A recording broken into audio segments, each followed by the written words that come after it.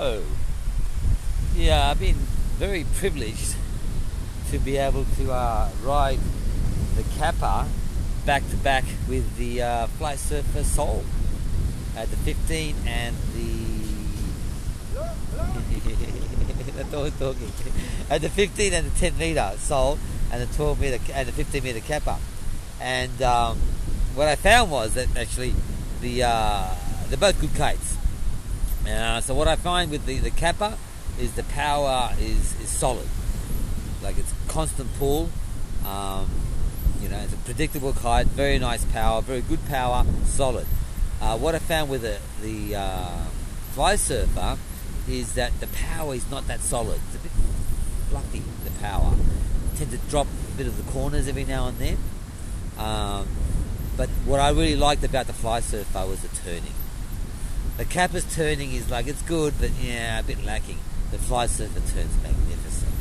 So for a jumping kite, the Flysurfer definitely jumps high up. The hang time is better with a Capa, but the actual the turning, if you can have a combination of both, of the turning, of the Flysurfer turning with the the Capa solid, predictable pull, you'd have an unbelievable kite. You know, I mean, they're both great kites.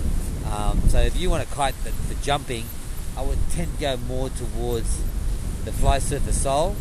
If you want a kite, solid power, predictable power, and like from really light winds to really strong winds, and not so much about the turning, I would definitely go to Capa. You know, um, the is just more predictable. It just really holds you when you hang time, the flow time. It's just magnificent. Whereas the Flysurfer is just not that hangy there anymore. It's still good, but not as, as, as good as the Capa. So, like I say, both great kites. Um, I'd like to see, I'd like to see the Capa turn better, and I would like to see the Flysurfer hold that power better. You know, so if they could just put the genetics together and, and make a, a Capa Fly Surfer, we'd have one of the best kites in the world. Huge airs on the Capa, the turning's magnificent. So there you have it. That's a review between the Capa and the Flysurfer Soul. Both great kites. Just one. It's got one turns better and one's got better power. Just,